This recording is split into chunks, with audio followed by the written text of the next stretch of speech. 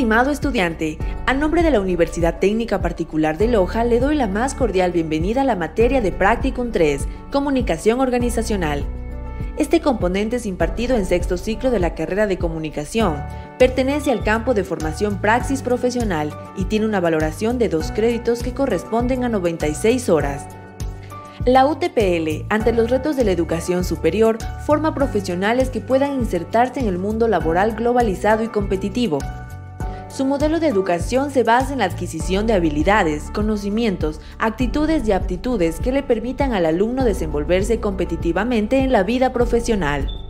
Por otra parte, la creciente importancia de comunicación en los ámbitos del desarrollo social, organizacional y empresarial incentivan a las instituciones educativas superiores a formar estudiantes mediante experiencias reales, liderando proyectos enmarcados en el campo de la comunicación organizacional. Por este motivo, la carrera de comunicación, considerando la necesidad de los alumnos en cuanto a la vinculación a proyectos reales, ha implementado cuatro niveles de prácticas preprofesionales, practicum, como parte de la malla curricular.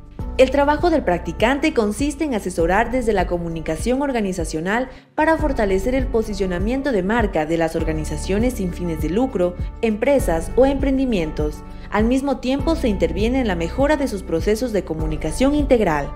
Los estudiantes matriculados en el Practicum 3 trabajarán con organizaciones sin fines de lucro, empresas o emprendimientos de la localidad donde viven para contribuir al fortalecimiento de la comunicación organizacional y apoyar a la consecución de sus objetivos.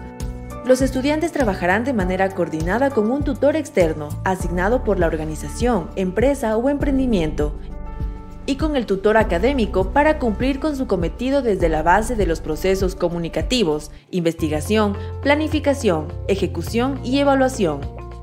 El texto guía proporciona lineamientos claros y aplicables sobre la gestión de la comunicación, mientras que en la plataforma de aprendizaje se hará una explicación más detallada respecto a los formatos definidos y seguimiento del trabajo realizado por los alumnos. Apreciado estudiante, a continuación se resumen las actividades a realizarse por usted que ya están definidas en la materia. Etapa 1. Investigación.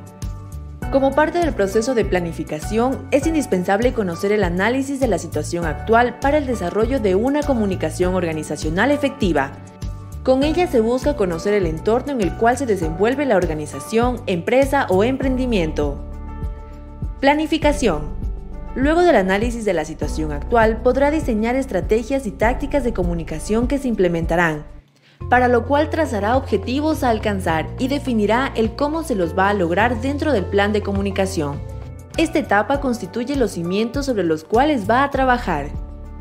Etapa 2. Ejecución.